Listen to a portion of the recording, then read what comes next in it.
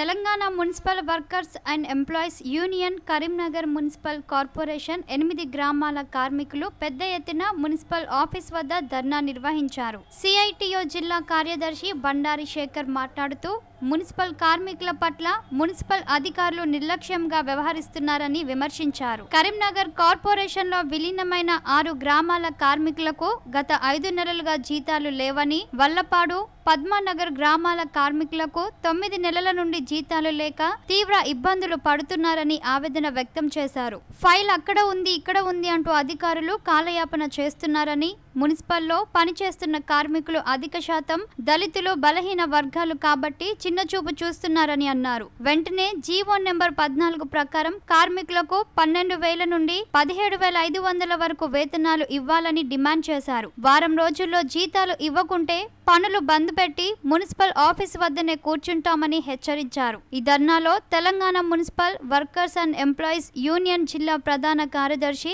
జనగం రాజమల్లు రమేష్ శంకర్ నాగ నాగభూషణం రాములు నారాయణ శివకుమార్ భూమయ్య సరోజన శారద రాజేందర్ తదితరులు పాల్గొన్నారు. పెండింగ్లో ఉన్న జీతాలు